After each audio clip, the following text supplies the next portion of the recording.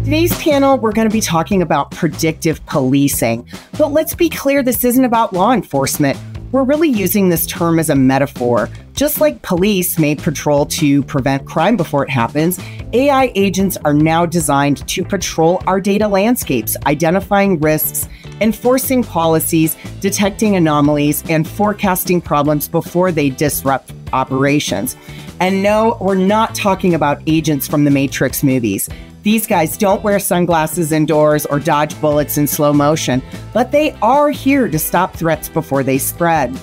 In our enterprise world, predictive policing means proactively managing compliance, security, and data quality, not just reacting after the fact. It's certainly a shift from manual oversight to autonomous, intelligent enforcement. And as these agents become more capable and autonomous, big questions really emerge around architecture, ethics, and accountability.